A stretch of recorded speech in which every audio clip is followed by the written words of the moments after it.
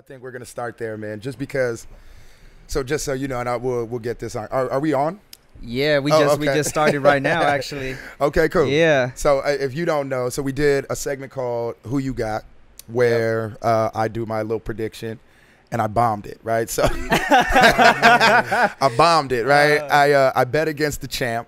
Oh, I didn't man. really bet against him because I, I knew it was real close. I knew it was gonna be a close fight. No, you made a calculated guess. I we know a- who I'm- you were who you were rooting Yeah, for. yeah, yeah, without a doubt. I'm Yeah, actually yeah. super happy that homeboy won. I'm a Yeah. am a Manny fan, but uh, yeah, I just I thought he I thought he might be too old, man. I thought that age was gonna catch up with him. You you bet on the factors. I bet on the factors. Exactly. Yeah. So that's that's all it was. Educated guess.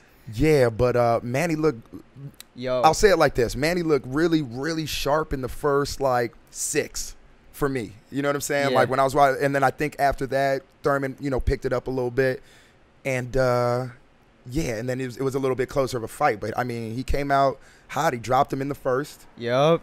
And uh, I even I, I was gonna wear a Manny Pacquiao shirt, but I was like, that's probably disrespectful after I chose against him. You know what I'm saying? I was like, let me not do that. I'll give it a week. But uh, yeah, man, what'd you think about the fight, man? I mean, you know what? It's um, it was uh, it was crazy because for one, like you said, I mean the the, the factors to it, you know, Yeah. the, the whole age thing, and Yeah, who'd you have going Yeah. in? Did you?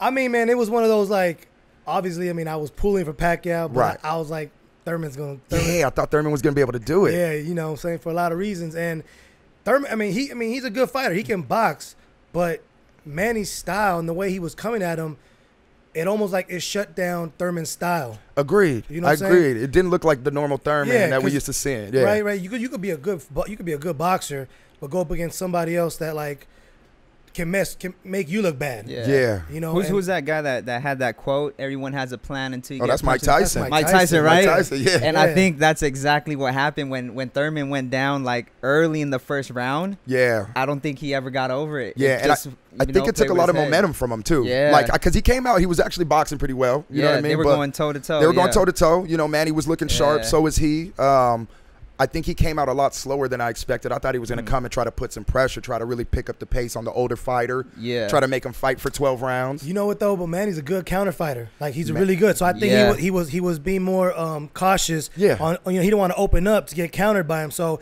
which is why I think he was being more cautious on uh you know being a little slower, not not rushing. Yeah, yeah, absolutely. And I think he, I think he felt that pop at the beginning. He's like, "Oh snap, homie can hit." Yeah. yeah. Got that old man strength. yeah, he got you know? that. That's the Old man last thing to strength. go. You know what I'm saying? He got Yeah. that old man. Put him on his ass, man. But uh, Yeah. yeah, no, it was a good fight, man. I think you know, at the end of the day, like I put it on Instagram, I was just like, "That's." I mean, he's just a legend. I don't even know what else to say anymore. Like every time I, every time I'm like, man, I don't know. He like, I know. You know what I'm saying? Like, and he, he just shows up every time, man. He just, I think, his style is something different. Eight divisions. Yeah. You know what I mean? Forty year old, the What oldest welterweight. Yeah, yeah, and then he that that that whole fact that he originally won it at 20, Yeah. second person to win it in 20 years But. You Well, know, I thought about this. So he's been in the game for 20 years. So Yeah. when he when he was first starting in the game, Keith Thurman was 10. Yeah. yeah. watching him on- Was it ten? I thought it was six. They're No, 10 years apart. Okay, oh, that's right, that's right. They're 10 okay, years yeah. apart. So That's he's been right. in the game for 20. Yep. Keith Thurman was literally a 10 year old, probably just starting his amateur like amateur Yeah. career. I think he started somewhere between 10 and 12. So Mhm. that's crazy, like Yeah. crazy to think. I mean, but you know, kudos to Thurman too, man. He, he you know he came off a two year layoff, hmm came back and fought th- one of the best of all time. Yeah. in Manny Pacquiao. Old or not, he's one of the best of all time. And uh, you know, and I think he put on a good show, and he didn't he didn't bitch up. He could have quit a few times, really. You know what I mean? Like he didn't have to. He didn't have to. You Yeah. know, he didn't have to, but he did. Yeah. Did real, real side note? Did you guys see that little clip of uh, the dude that got knocked out the ring recently? Just yesterday, it was another fight that happened. There's two heavyweights were fighting, Uh-huh. and the heavyweight got knocked out of the ring and came back in and tried to finish the round. You didn't see it? Nah, you nah, haven't seen nah. it? Missed that one.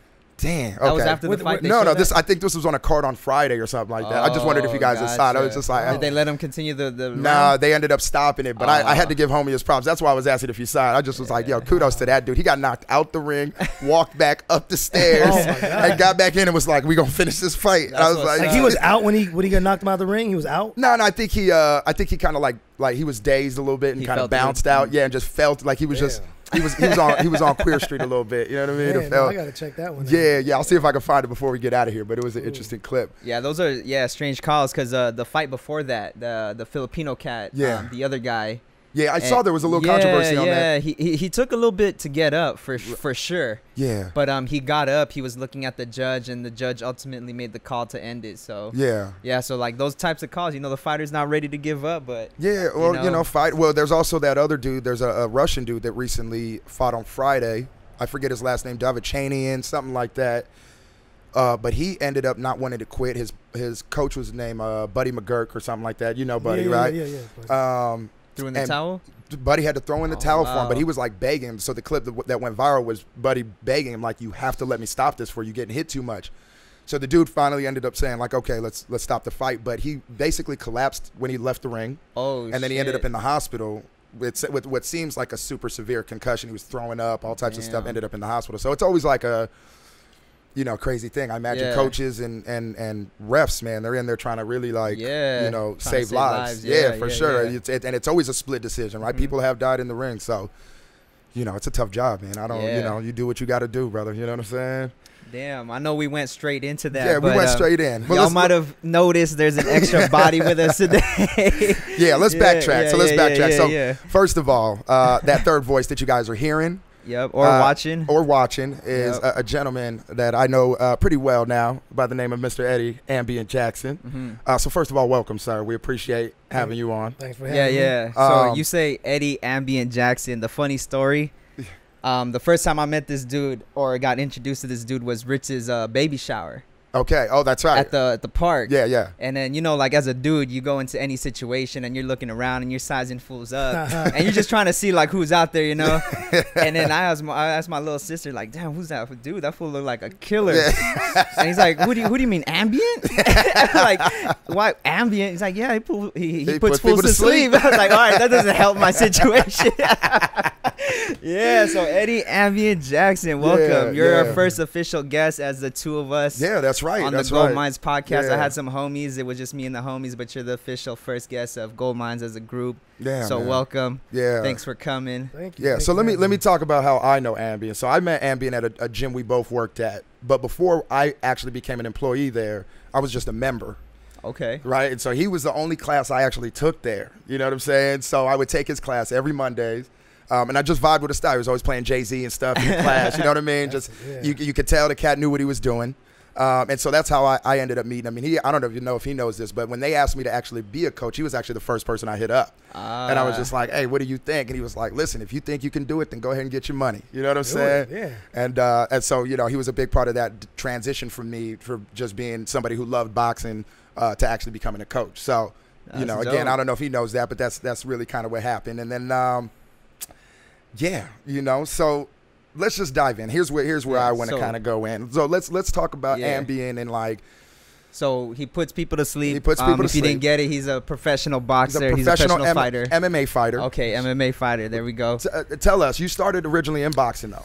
I started up. I started uh, yeah, in boxing. I was about five, about five years in boxing.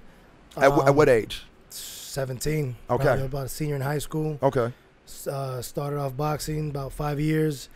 Um, shit, I saw my first MMA fight, and um, I was like, man, like I was like, the fuck is this? Yeah. so uh, come to find out, like you had to learn more, uh, more martial arts, the the wrestling, the jujitsu, the kickboxing. So uh, so from boxing, I went into kickboxing. I kickboxed for about two years, and then um, been uh, been involved in MMA for about seven years straight after that. Okay. So um, yeah, no doubt my hands are my bread and butter. Right. Um, that's it. That's yeah, it. yeah. yeah. So um, yeah, man. I mean, that's I mean that, that as far as my start, that's yeah. Okay. Well, yeah, let's, the crazy other crazy part is Yeah. um you, you told me about the other podcast that you had been on yeah. and come to find out the first um, experience I had with or fighting or boxing was at the old LA County jail as well. Yeah. yeah, Oh, yeah, yeah. yeah, Yeah. So it's, That's it's right, you it did was tell me dope. that. Yeah, from Marshall, um, one of the teachers put me on. It's you know this free program. I don't know if they still do it, but it was such a great program. Yeah. It's for the youth. It was absolutely free. Interesting. You had really good people in there, really good trainers. They had a weight room. It was just a dope place. Yeah, Yeah. yeah, Yeah. And, the, and the whole history behind it, it was like kind of you know, yeah. Yeah. yeah. it's pretty harsh. Yeah, That's, that's Yeah. definitely gonna put you in a different mind Yeah, state. Oh, yeah. yeah. You walk, you walk in there, yeah, you know yeah. What was what you happened felt tough. here. Yeah, you yeah, felt yeah. tough. Yeah, right. That's so funny, man. So, I, what I want to do is I want to dive back a little bit. Like, so one of the questions that I, I've been asking people as I meet them, just in, in general, right? But not on. The, this is my first time asking on the podcast. Is like, who was Eddie as a child, man? Like, like if I was your next door neighbor as a kid growing up, we was in the same neighborhood. Like, what would I know about Eddie? Like, how, like, what would I have known about you at, at a very young age to start? Oh my God, um, that's a good question. Or where, where where did you grow up? Let's tell Uh, us that. Yeah, let's start I'm, there. I'm from I'm from Inglewood. hey, Alright. Yeah, Inglewood, Inglewood, California. let's go. yeah, Tough yeah, times um, back then. it was, man, which is probably why I decided to start fighting because that's all we did. Even if it was just like friendly slap boxing, we just, Yeah. you know, it was Yeah. always some kind of altercation. So, Uh-huh. you know, um, but it was, it was, uh, it was tough. It was tough. Um, I didn't have like the best of childhoods, but you know, I was around. I grew up around a lot of, uh, you know, a lot of drug dealers and yeah. pimps, hustlers, and, and you know, um, so to be where I'm at now, uh, it's it's it's a blessing Yeah, for sure. It's a true blessing. Um, but yeah, it was. Uh, I was a kid. I mean, shit, I was like any other kid. I mean, I got in trouble.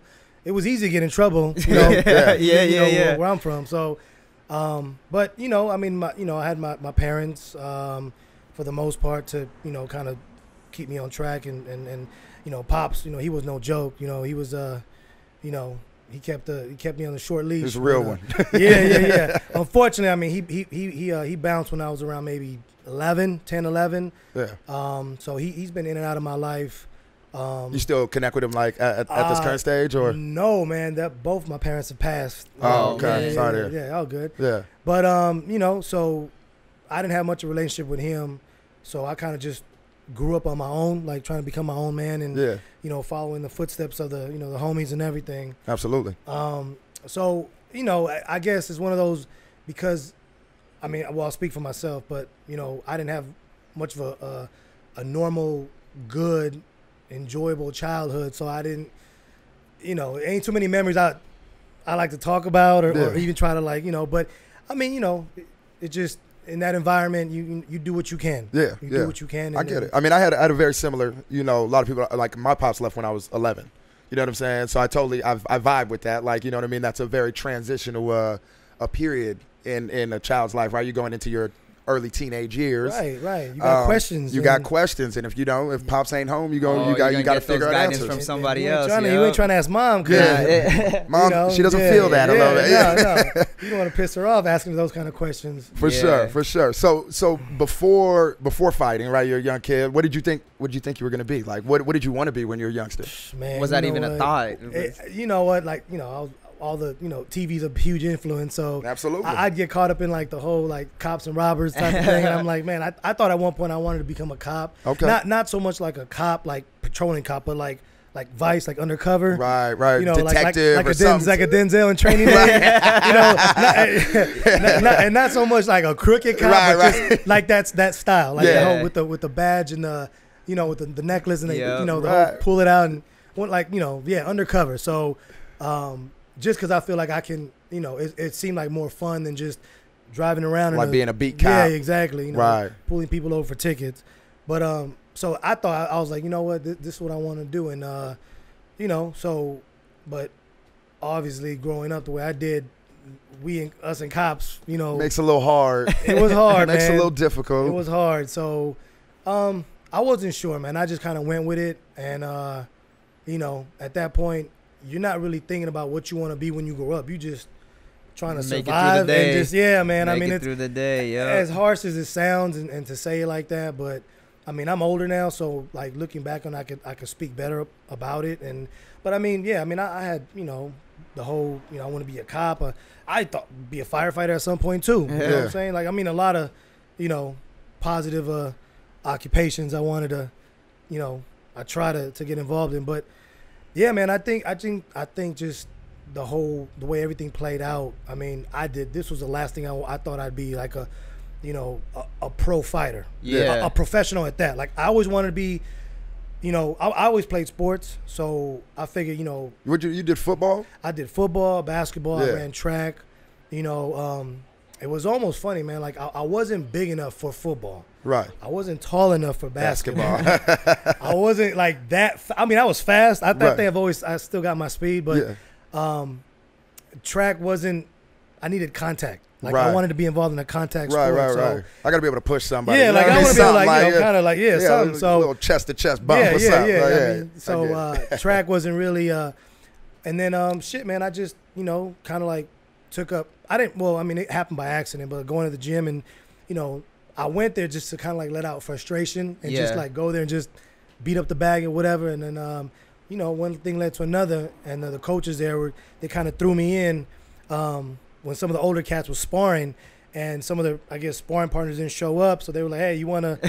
Kind of, kind of threw me Yeah, in there, yeah, like yeah. you know. So, but I held just my needed own. a body. That's yeah, what they were looking for. but I really. wasn't knowing that, but they, they, they did me dirty, now man. you now you know. yeah, like, now I know. So No, that's a similar yeah. experience because I, I was taking martial arts before that, and I had quit martial arts because of the fact that I went into martial arts because I wanted to fight. Right, But it's been it was like months, right, and we just got into sparring, and it was grappling. I'm like, yo, I want to fight. right, right, right. right? I so I, punch yeah, somebody. so I found that the gym in LA and same situation. First day there, Yeah, um, they told me like, all right, you need your wraps. They had some wraps, you know, whatever. And then um, we were doing some drills, and then by the end of the class, it's like, all right, let's step in the ring. And Yeah. you're sparring the first day. I was like, holy shit. like, this is happening. yeah. It's real. This is real. yeah, Shit yeah, just got real. yeah, tough place, man. Yeah, yeah. I mean, sometimes that's the only way to do it, though, is to get thrown into the fire, or else, or else you might you might never actually take that step. Yeah. Sometimes, so that happens like that. But